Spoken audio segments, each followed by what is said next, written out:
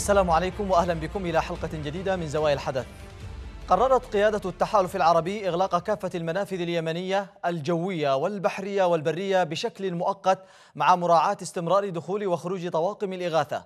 وقالت وكالة واس السعودية إن هذا الإجراء من أجل سد الثغرات في عمليات التفتيش التي تسببت باستمرار تهريب إيران للصواريخ والعتاد العسكري إلى ميليشيا الحوثي والمخلوع. وحث التحالف البعثات الدبلوماسية بعدم التواجد في المناطق غير الخاضعة لسيطرة الحكومة الشرعية ومحذرا المدنيين وطواقم الإغاثة من الاقتراب من مناطق العمليات القتالية وتجمعات الميليشيا نتوقف عند هذا الخبر لنناقشه في محورين هل الإجراءات الأخيرة تعني جولة جديدة من الحرب والاتجاه نحو الحسم أم أنها مضاعفة لمعاناة المدنيين في الداخل اليمني؟ وهل يمكن القول أن التحالف ذاهب باتجاه مراجعة حساباته بعد أن تلقى ضربات الميليشيا الأخيرة؟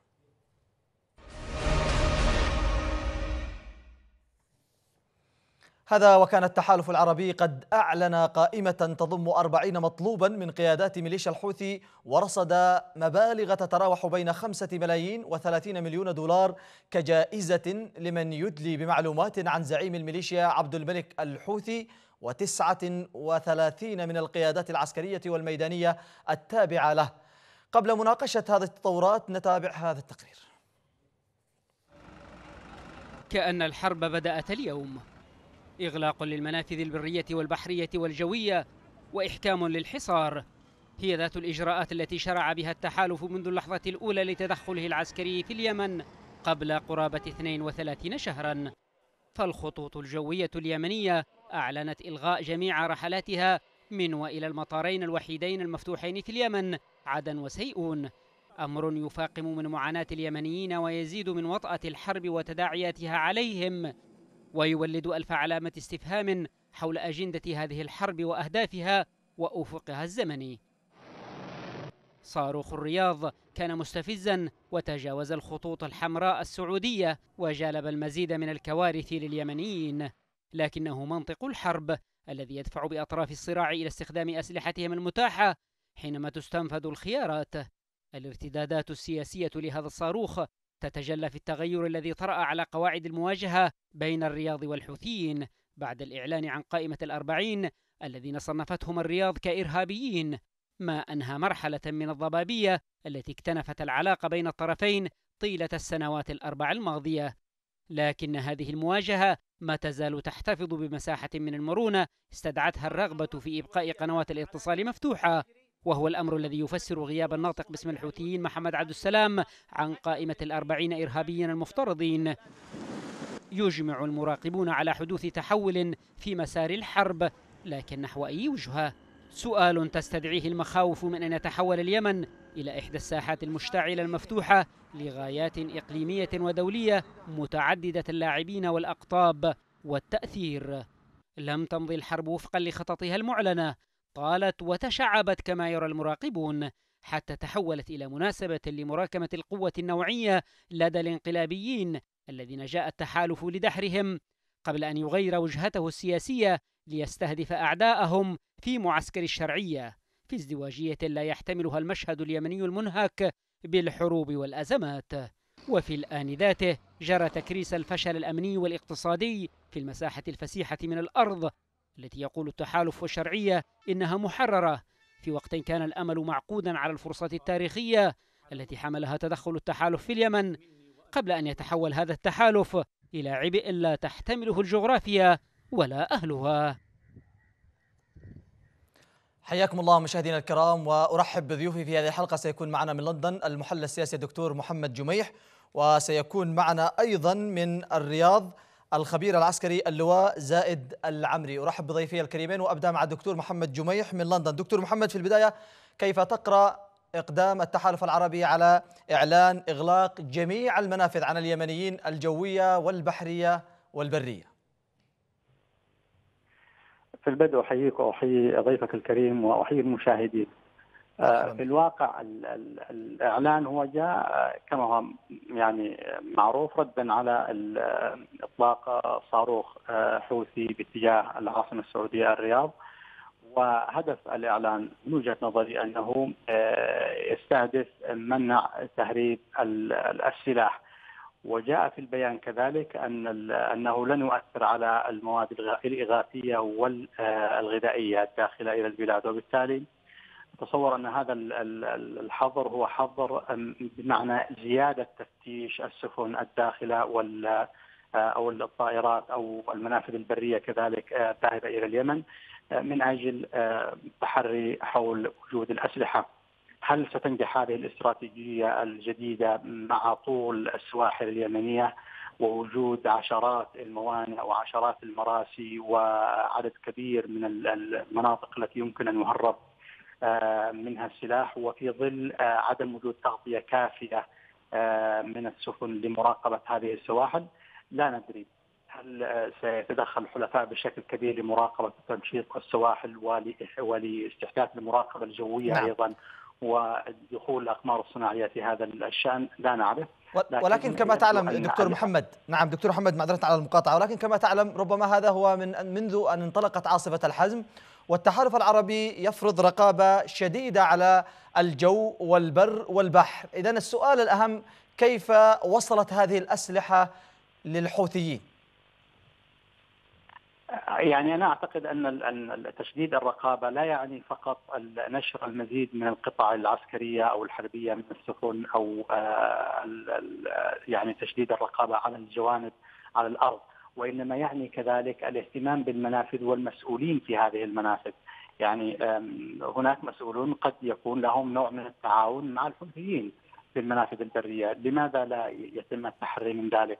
هناك تقارير يعني متسقه تقول بأنه يتم تهريب السلاح من السواحل الشرقية وحتى من منافذ الحدود مع عمان ودخول هذا السلاح إلى الصحارى اليمنية وعبور هذا السلاح أيضا عبر أراضي الشرعية وهذه الأراضي يعني فيها نقاط أمنية ونقاط تفتيش ومع ذلك إما أن هذه القوافل من الأسلحة تتفادى هذه النقاط أو أن المسؤولين في هذه النقاط نعم. لدى بعضهم و... تعاون مع نعم. ولكن ولكن لم نسمع تصريح واحد من قوات التحالف العربي تقول بأن هذه الأسلحة تأتي من الحدود اليمنية العمانية أو من المنافذ التي تربط عمان باليمن ربما هذا دكتور هي معلومة نسمعها يعني أنت تقولها وسمعناها أيضا عبر يعني مواقع إلكترونية وإعلامية كثيرة لكن التحالف يعني لم يصرح بالشكل المباشر فعلا. ولم يصرح بالشكل المباشر يعني لكن يعني ضبطت كثير من في مأرب ضبطت كثير من السيارات المحملة بالأسلحة. وتحمل القدوم إشارات القدوم من المنافذ البرية مع عمان، طبعا لا يعني ذلك أن العمانيين متورطون في ذلك، آه، قد تكون بعض الموانئ العمانية أو بعض الموانئ كما بعض الموانئ اليمنية أيضا في آه، سواحل البحر الأحمر والعربي تستخدم لهذا الغرض. نعم. طبعا السلاح لا يصل آه، لا يصل بطريق مشروع وبالتالي الحكومات الشرعية قد لا تتحمل المسؤولية بقدر ما ينبغي أن تشدد الرقابة على الأراضي الخاضعة للجانب اليمني تحديدا والمنافذ الحدودية من أجل تدقيق العمليات عمليات تهريب الأسلحة. نعم. المشكلة أن مثل هذه الصواريخ عندما تهرب هي تهرب في ناقلات بسيطة لأنها تهرب كقطع ثم يعاد تجميعها وتركيبها في اليمن لأن اليمن فيها الآن خبراء إيرانيون حسب اتهامات التحالف يقومون بتركيب هذه الصواريخ والمساعدة نعم. في إطلاقها وكذلك بالمساعدة في تحسين قدرات الصواريخ البالستية اليمنية القديمة التي كانت من آه، من طراز قديم نعم. من أجل آه، إبعاد مدى مداها. نعم. طيب دكتور اسمح لي أن نشرك معنا في الحديث الخبير العسكري اللواء زائد العمري من الرياض. سيادة اللواء مساء الخير. مساء الخير وحياك وحيا ضيفك من لندن.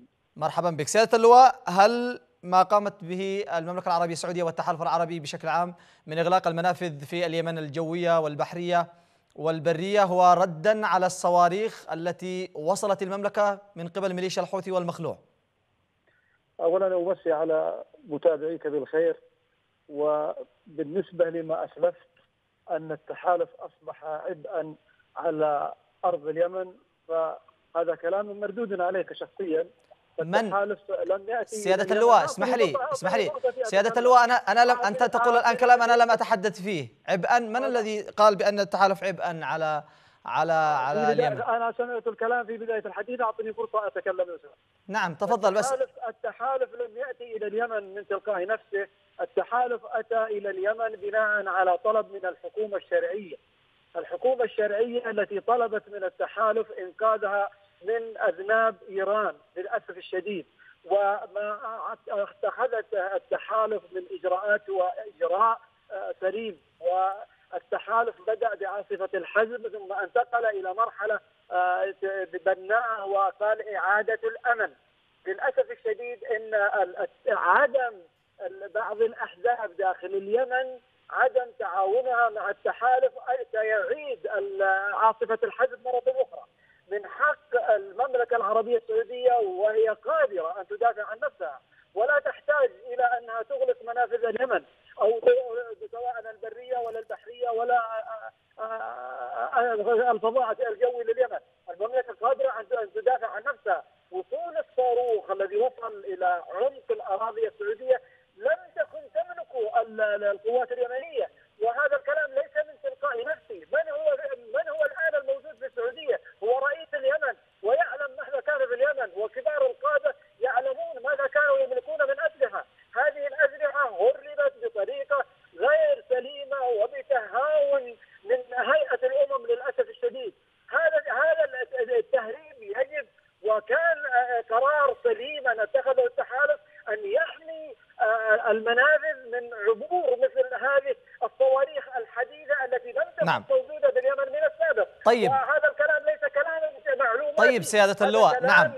نعم. طيب نقطة مهمة. نقطة مهمة سيادة اللواء. اسمح لي. نقطة نقطة مهمة. من يسيطر على جميع المنافذ في اليمن؟ الجوية والبرية والبحرية هو التحالف العربي؟ وليس كما تقول بعض الأحزاب في اليمن أو بعض القوى في اليمن. آه لا معلومتك هذه غير صحيحة. التحالف يسيطر على ثمانية موانئ وميناء وهو أكبر ميناء ميناء الحديدة لا, لا يزال تحت سيطرة آه الأتباع المخلوع صالح والحوثيين وقد طلبت التحالف من الأمم المتحدة ولم تقوم الأمم المتحدة بواجبها أن تسلم لها ميناء الحديدة الذي تهرب منه الأسلحة آه، وللأسف الشديد الخبراء. أنا متأكد وأنا خبير في مجال الأسلحة الإستراتيجية الصواريخ تحديدا أن هذا الصاروخ الذي أطلق وهو من نوع نودونج الكوري والمعدل وسمي بشهاب ثلاثة في إيران وسمي بظهوري في نعم. في, باكستان. إن هذا الصاروخ لم يأتي إلا عن طريق بناء الحديدة. اذا اذا اذا المشكلة نعم سيادة اللواء. اذا المشكلة هي في ميناء الحديدة الذي لا زال تسيطر عليه الميليشيا وليس كما قلت بعض الأحزاب التي تتعاون من أجل إيصال هذه الأسلحة للحوثيين. أخي الفاضل أنا لم أق... إذا قلت كلمة فلها دلالات. لو أن الإخوة في اليمن ودع أسمع أقول الإخوة والأشقاء في اليمن قاموا على قلب واحد 12 ألف حوثي كيف يسيطرون على اليمن؟ الحوثيين الآن أصبحوا فداء لحزب الله وحزب الله فداء لإيران. إذا للأسف الشديد كيف يكون الرجل اليمني الرجل البطل الذي شهد له في التاريخ بالفتوة والشجاعة والرجالة أن يصبح ذنبا لمن هو ذنبا لإيران يا أخي الفاضل يجب على الأحزاب واعرف وأنت تعرف الأحزاب التي أقصدها أن تقوم قومة رجل واحد وأن تقوم بواجبها في إلقاء اليمن دول التحالف لم تطلب شيئا من اليمن لم تأتي إلى اليمن قبل ان قبل سبتمبر على 2014 نعم. هل المملكة العربية السعودية طلبت من, من اليمن شيء؟ هل غزت اليمن؟ هل حاربت اليمن؟ لا المملكة العربية السعودية تحمي حدودها أنت تعلم نعم سيادة اللواء. لا من اليمن ولا من غير نعم. اليمن. نعم. وضحت فكرتك لكن كما تعلم من هم في صف الشرعية كانوا من اليوم الأول في الجبهات القتال سواء في مأرب أو في نهم أو في ميدي أو في عدن أو في لاحج أو في تعز أو في شبوة. وهؤلاء هم من انضموا إلى صف الشرعية. نحن لا نحاسب من هم في صف الحوثيين كما كما تقول يجب أن ينتفضوا. الخلل والإشكالية التي يتحدث عنها الكثير أن هؤلاء المقاتلين لهم أكثر من ستة إلى سبعة أشهر بدون رواتب. هؤلاء المقاتلين مستعدون للتضحية بأرواحهم لكنهم لم يمدوهم بالسلاح النوعي والكافي من أجل يعني أن, أن, أن, يخوضوا هذه المعارك. هؤلاء في نهم لهم, لهم عامان ممنوعين من التقدم. وهناك بعض الأخبار من وسائل الإعلام تقول أن وصلت بعض الأوامر لمن هم في الميدان إذا تقدمتم سيتم التعامل معكم بالطيران. لا تتحركوا إلا بأوامر من التحالف العربي. وهنا هي المشكلة. أخي الفاضل كل ما تحدث يمني قال أن الدعم المادي لم يصل. سبقك سبقك حمد المخلافي من تركيا من نفس المكان الذي تتحدث منه وقال امدوني بستة من ثلاثة مليار وأنا مستعد إلى أنني أحرر اليمن. الكلام هذا كلام لا مزايده لا لا لا لا, لا, لا يؤدي إلى نتيجة ولا يحقق تحرير اليمن. نحن اليمن سيادة اللواء. قبل أن تضحي بالمال أعطيه فرصة. ضحت بالدم الدم السعودي ضحت به من أجل اليمنيين. يعني الشهداء الذين يسقطون في اليمن. من هم من أجله؟ هم من أجل كرامة الرجل اليمني. لأن الرجل اليمني رجل كريم ويجب أن يبقى كريم. والمملكة العربية السعودية بقيادة خادم الحرمين الشريفين تسعى إلى حفظ كرامة الشعب اليمني والرجل اليمني وأن لا يسلم قراره لأذناب المجوس اطلاقا. انما كل ما يتكلم يماني من على اي قناه وخصوصا قناتكم بلقيس تحديدا يطلب بالدعم المالي، الدعم المالي متوفر وموجود والحكومة المملكة العربية السعودية سخرت الدم السعودي وليس المال السعودي. نعم. سيادة اللواء يعني الجميع لا ينكر الدعم الذي قدمه التحالف العربي ولكن أنت الآن تقول وذكرت لي بعض الأسماء وبعض الشخصيات.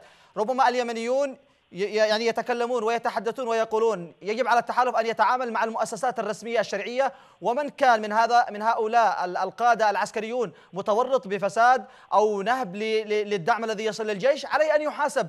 لا أن تتعاملوا مع أشخاص وأفراد وجماعات خارج إطار الشرعية. أخي الفاضل اسمح لي بمقاطعتك.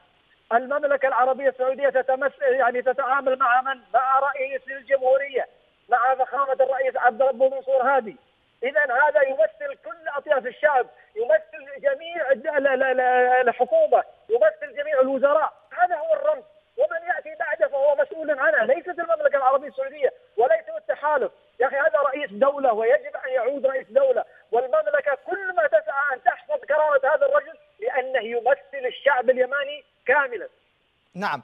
طيب سيادة اللواء أعود للدكتور محمد جميح. دكتور محمد جميح إذا في البداية لو كان لك آه، تعليق على ما تحدث به أيضا آه، سيادة اللواء زائد العمري. وأيضا سؤال من من وجهة نظرك الآن هذه الخطوة. هل هي فعلا يعني تصعيد لدخول اليمن مرحلة جديدة من الحسم العسكري أم هو ربما آه، غياب الرؤية لدى التحالف العربي كما يقول بعض المحللين السياسيين؟ أنا أعتقد يعني أن المسألة يعني يمكن أن تكون آه، يعني يمكن أن تكون مقاربتها من خلال الدعوة إلى اجتماع آه، كما أقولها دائما اجتماع موسع يضم قيادات من الشرعية اليمنية وقيادات من التحالف على مستويات عليا من أجل بحث الأزمة الحالية، لماذا لم آه، يتم التقدم العسكري في السنتين الأخيرتين كما كان في الشهور الأولى من السنة الأولى.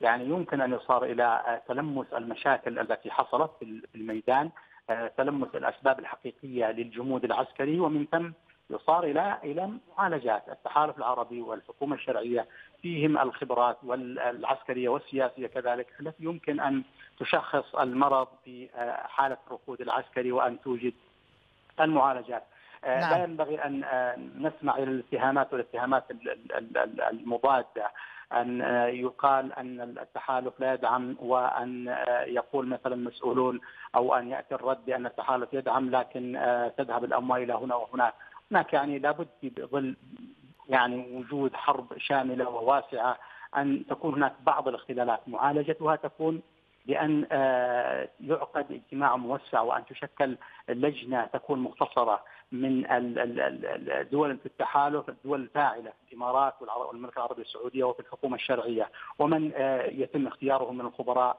في ضمن في دول التحالف الأخرى لمعالجة الأوضاع الميدانية. نعم. آه هذه نقطة. أعتقد أن هناك أيضا إشكالات سياسية أثرت على الجانب الميداني. ورقة الانفصال التي يلوح بها آه، إخواننا في الجنوب لا شك أن لها تأثيرا كبيرا على في تطبيق همة المقاتلين في الشمال لأن نعم. المقاتل يقول إذا كنت سأقاتل من أجل فصل الجنوب ومن أجل أن يعني أن أطعن في الظهر إنجاز التعبير فإن ذلك يؤدي إلى تثبيط همته بالقتال آه، لأنه ما خرج في آه، قتاله من أجل أن يقسم نعم. اليمن إذا ينبغي أن تعالج هذه القضايا بهدوء طيب. وأن تعالج مثل مسألة المطالب التي لإخواننا في الجنوب آه، أن ترحل في هذه الفترة إلى أن يتم تحرير البلد من الانقلابيين الحوثيين وحليفهم نعم. طيب دكتور سؤال أخير نعم دكتور أودعك بسؤال أخير فيما يخص إعلان التحالف العربي قائمة بأسماء قيادة الميليشيا وعلى رأسهم آه، زعيم الميليشيا عبد الملك الحوثي ورصد مبالغ مالية. برأيك هذه الخطوة هل هي تأتي فعلا في صالح آه، يعني التحالف وفي صالح الشرعية من أجل التحرير أم هي ربما كما يقول البعض فقاعة لا تقدم ولا تؤخر؟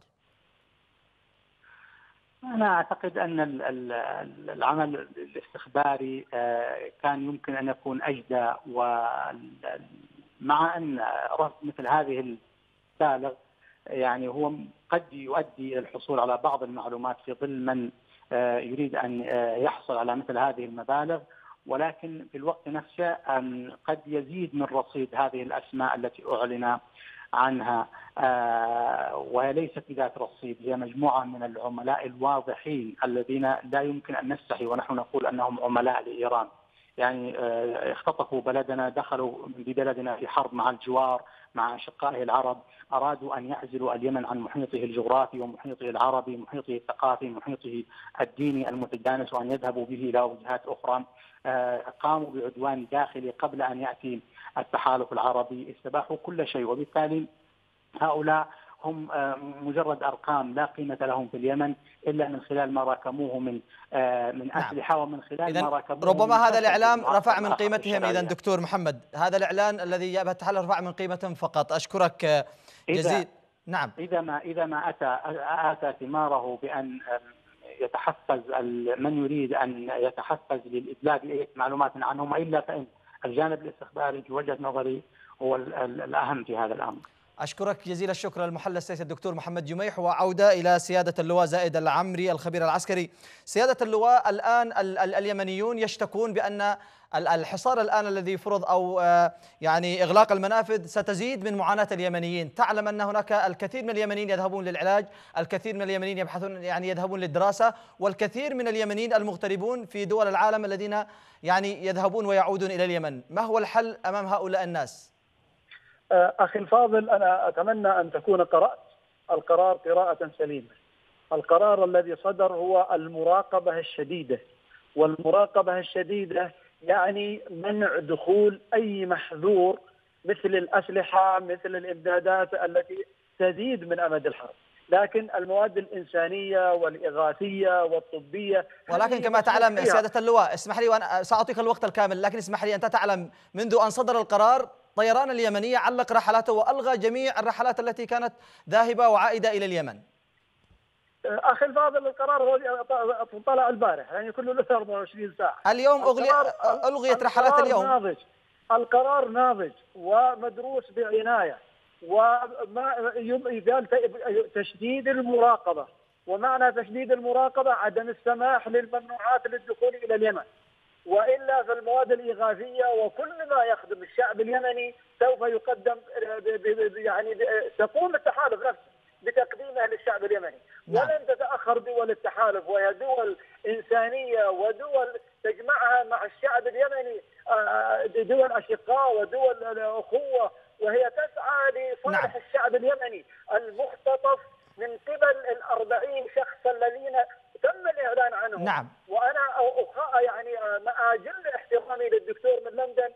في جزء من حديثه قال إن دفع هذه المبالغ زاد من قيمتهم. لا هم قيمتهم إنهم أحتلوا صنعاء. يا أخي كبير كلمة احتلال صنعاء. احتلال تعز. مساله من يسيطر على صنعاء؟ من يسيطر على تعز؟